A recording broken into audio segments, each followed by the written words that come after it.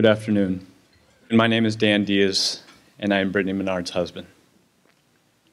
I was asked to share Brittany's story with you today, but this will not be the version of the story that I've told over the past year to senators and assembly members uh, while providing testimony at judicial hearings in my efforts to help pass that legislation in California. That version of the story contained numbers and statistics and polling data. Today, I will share Brittany's story in the context of our collective humanity, the human side of what she went through. Brittany and I met on April 30th of 2007. It was a Monday night. I still remember the specific portions of our conversation from that evening. The sound of her laughter, hearing it for the first time. The conversation between Brittany and I was effortless. We went on a few more dates, and it didn't take long for us to quickly decide that we were a couple, boyfriend and girlfriend. I find myself looking forward to seeing Brittany every evening after work. We spent most of our free time together. I was at her place or she was at mine. We were falling in love. Brittany and I would take weekend trips to California's wine country. That was easy enough. It was an hour and a half drive uh, from where we lived at the time. Or we'd go to a friend's lake house and spend the weekend on the water. We took a trip to New York, another trip to Chicago. So, what happens when two people are falling in love? You find yourself being affectionate and playful. You become supportive of one another's goals and their aspirations. You establish trust. You laugh and you smile a lot. We certainly did. you learn about the other person, and maybe just as importantly, you learn about yourself and how much this new person in your life means to you. Brittany and I were together for three years, and then we were apart, broken up for a full year. Love, it seems, sometimes it takes a detour. It did for us. When we got back together, we were reminded of how truly connected we felt to one another. We shared so much in common our interests, our goals in life. We talked about wanting a family. Brittany wanted two kids. I thought three or four sounded better, but we agreed that we would figure that out when it came up. We were engaged and then married in 2012. We bought a house and started settling into our lives together.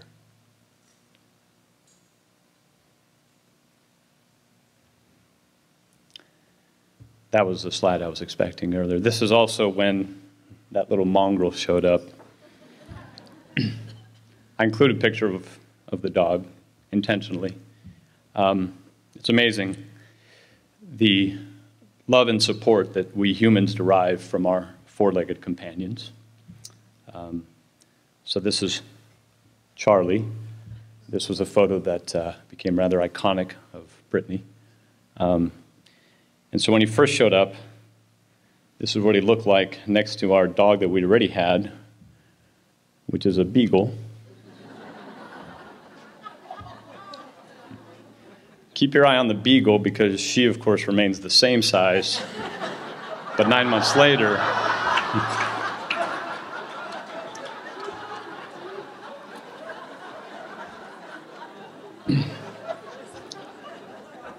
so that's our family 125 pounds.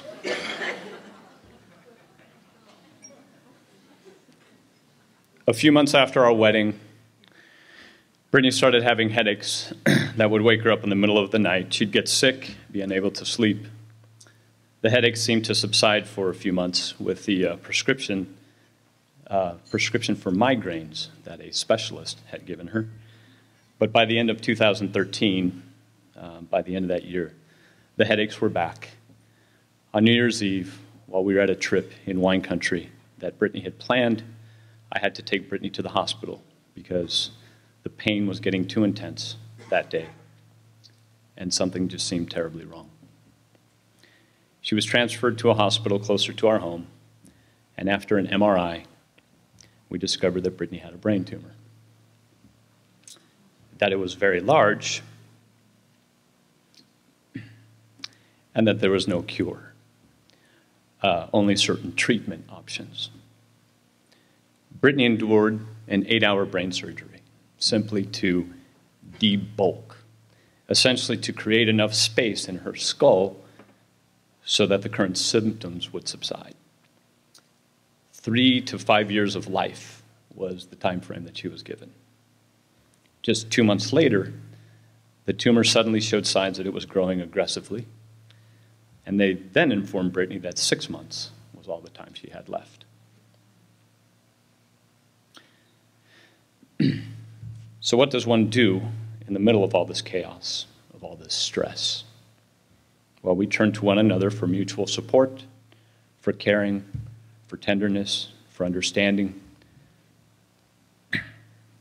In the middle of the night, when you're laying in bed, when we're laying in bed and she can't sleep, we hold one another, never wanting to let go. Brittany was determined to live, and we researched every treatment option that was available. The tumor was still growing, of course, and Brittany's health was deteriorating. There was no cure that could save her life. And unfortunately, the treatment options that were available, chemotherapy and radiation, those might give her two or three months on the back end, but she would start feeling horrible now, or at, immediately at that time. I'm not afraid to die, Brittany told me one day.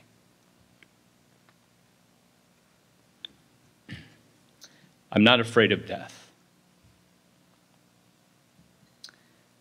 Mm-hmm. Death, death does not have that power over me.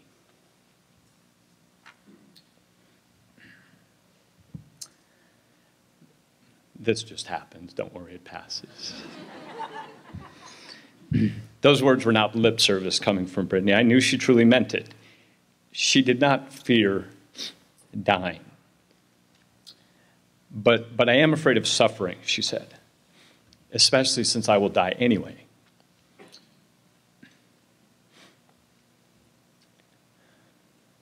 I would prefer to die gently, not struggling and in pain.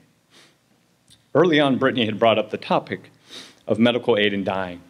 We talked about it, and I absolutely understood where she was coming from and the logic of this program. The fear of being tortured to death if the brain tumor was allowed to run its course. That was the one thing that terrorized Brittany. The reality that she would have to endure pain that could not be alleviated or even controlled with Dilaudid. Dilaudid, by the way, is four times stronger than morphine, and she was already on pretty hefty doses of Dilaudid. Seizures that become increasingly frequent and severe. Personality changes where one minute the individual seems normal, and the next minute they are agitated, cruel, violent. The probability the probability that she would go blind as the tumor grows in her brain and starts pressing on different parts, the likelihood that she would lose the ability to write and communicate altogether. It's not uncommon for the brain tumor to cause a stroke, and then depending on what part of the brain is damaged due to lack of oxygen during the stroke, she could lose motor function, the ability to stand, walk, and swallow. Partial paralysis is common and complete paralysis a possibility. Brittany said, I will not die that way. Why should I have to? Brittany decided to live her life to the fullest. I took a leave of absence from work. Brittany found a house for us to rent here in Portland, established residency. We found a new medical team. We packed up half our house in California into a U-Haul. We drove 600 miles north. Nobody should have to go through that at their end of life, having to leave home like that. Brittany then applied for, qualified for, and was granted the prescription for medical aid in dying. But that wasn't her focus. Brittany's passion was being outdoors in nature. So we went to Yellowstone National Park, a spot she had wanted to visit for years. A few weeks later, she was hiking glaciers in Alaska with her friend and her mother. It was during that trip when Brittany was in Alaska that I went to pick up the prescription. When Brittany returned from Alaska, she put the medication in the cupboard and we focused on living life. We focused on love. We went to Olympic National Park in Washington, Hood River in Oregon, and we took a helicopter tour of the Grand Canyon. Up until Brittany received the medication, she could not escape the torture that the brain tumor could exact upon her. But all of a sudden, simply because of simply having the medication, that terror vanished. Brittany had taken control back from the tumor. The tumor could no longer torture her to death. Brittany, had a, Brittany held a trump card that the tumor could not defeat.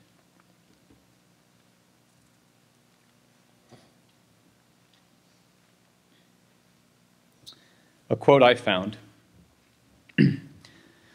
To conquer fear is the beginning of wisdom.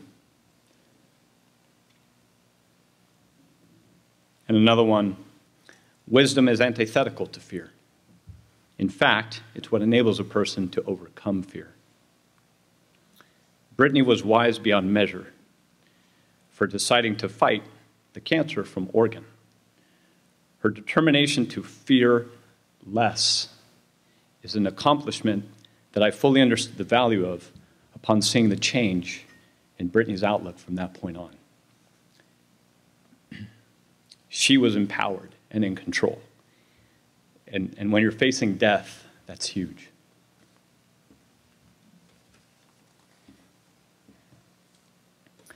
I keep in my heart all of the good times we shared together Everything from the details of our first date to just sitting on the couch next to one another watching a movie, our wedding day, our honeymoon. All of those events play out in my memory and they make me smile. We've all heard it said don't cry because it's over, smile because it happened. I choose to smile. By the way, if you've never heard that quote, you need to brush up on your Dr. Seuss. I made a promise to Brittany to do what I can to help pass legislation so no one else has to move from their home in order to secure a gentle passing. I continue to work on that effort. Brittany's voice made a huge difference in this conversation on end of life options. Governor Jerry Brown's statement in California mentioned Brittany by name as one of the factors that he took into consideration while deliber deliberating signing the law. This year alone, 25 states have introduced or will be introducing legislation. It just goes to show that one voice truly can make a difference. Brittany's, Brittany's voice certainly did. Brittany died gently on November 1st of last year. Within five minutes of taking the medication, she fell asleep very peacefully. Within 30 minutes, her breathing slowed to the point where she passed away. It was truly one of the gentlest passings that one could hope for. The brain tumor would not have allowed for that. Brittany's story is a story of love. It's a story of determination. It's a story of living life. And it's a story of triumph. In the end, Brittany did not die as a victim to cancer. She died in the same manner that she lived her life with grace, compassion, and love for herself and for her family. On behalf of Brittany, I give my thanks to each and every one of you, to Compassion & Choices. Thank you for being a part of this effort.